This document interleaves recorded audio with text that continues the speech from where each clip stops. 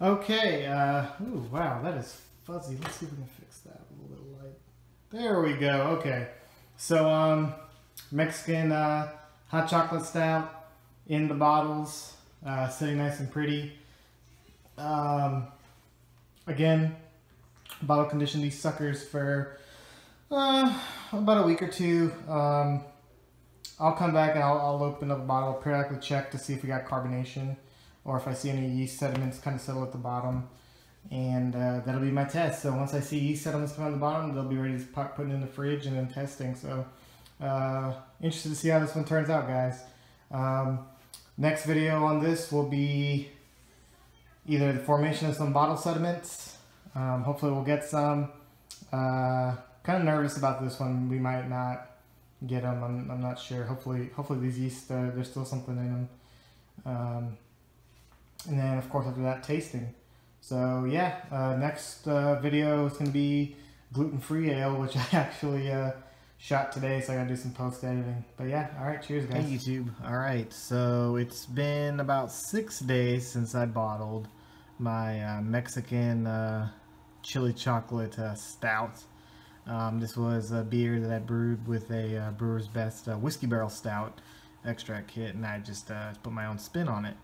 Um, so without further ado, I mean, I know it's only been six days. I'm bottle conditioning um, to try to get carbonation. I'm not expecting a lot of carbonation here thus far, but uh, I got impatient. I want to see where we are in the process. I thought I'd film it.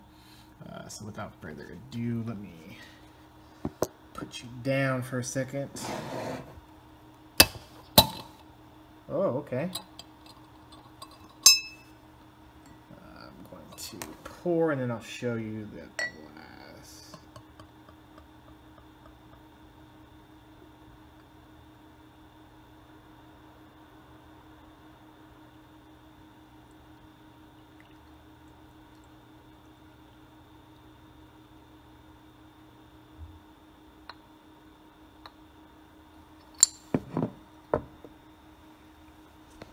Yeah, so as you can see, just like I said, basically no carbonation yet. Not surprised though, it's only been six days.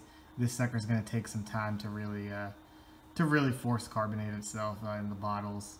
Um, I don't know if you can see there, there's there's a little bit of carbonation in there. Um, and up on top, yeah, see a little bit of carbonation coming up, so cool. Uh, let's take a smell.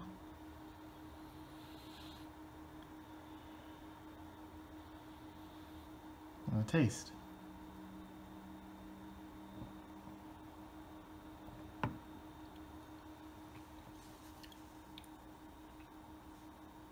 You know, not bad. Um, very mild. Um, I like the balance of it actually. Um, yeah, let me get another sip before I comment on it here.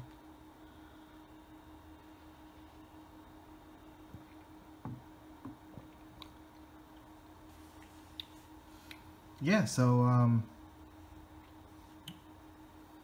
the nose is really where the abuelitas comes in. Um, there's not really an overpowering chocolate piece to this at all. Um, you get you get the cinnamon and like different spices really come out at the beginning, um, and it's it's like a faux sweetness that you taste. Um, just kind of comes up, rolls in, and then clean uh, finish with that.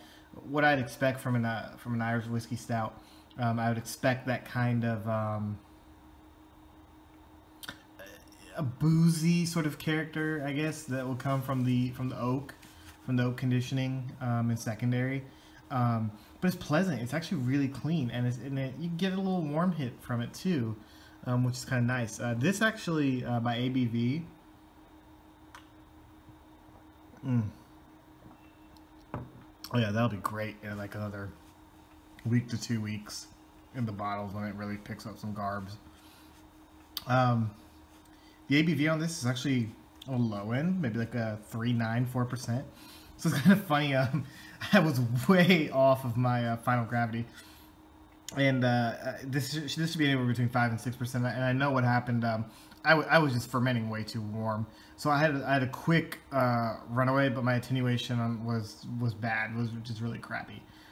so you know, lesson learned. Um, I I, I recocked uh, how I'm fermenting now, so you'll see that in the gluten free ale uh, video. But uh, yeah, no, um, th- this is actually this turned out really well.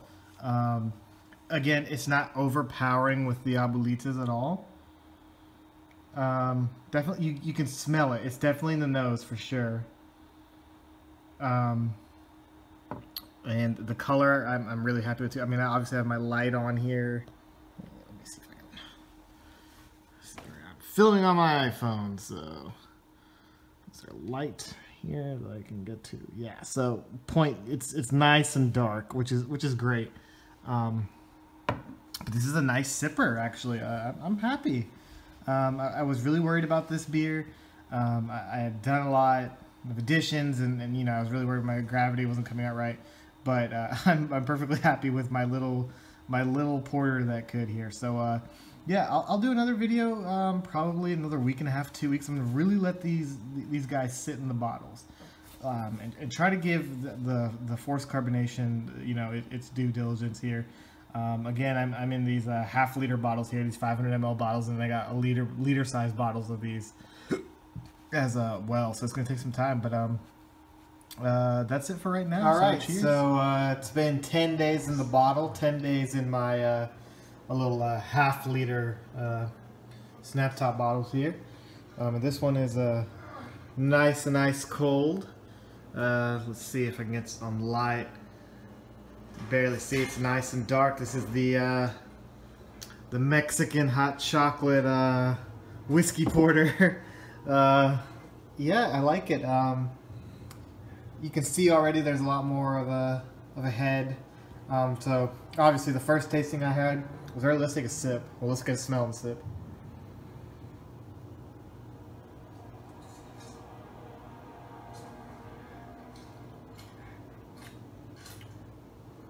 Oh god, that is so good. Mm.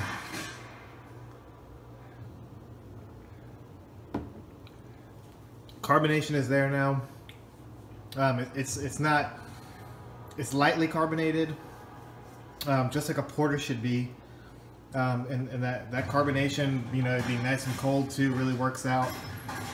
Um, good mouth feel and everything uh, on the beer. Um, the chocolate is rounded out on it. Yeah, and it's still crisp. So uh, yeah, um, and I, am just sure the longer this sits in bottles, the better it's going to get. So I'm really happy with this one.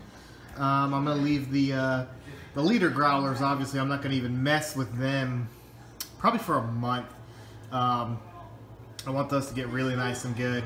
And I'm probably going to share the half liter with friends. So uh, yeah, there you go. Uh, Mexican uh, Mexican uh, hot chocolate porter, whiskey porter. Uh, uh, very successful, very happy with it. Uh, didn't get all the uh, the notes I was looking for, but you can definitely get some of the complements. So um, yeah, next beer up is the gluten-free stout. Um, got already some the, the, the part one video up on YouTube, so look forward to seeing more then. Sorry about the hacksaw ridge in the background, just had to see it. All right, guys, cheers.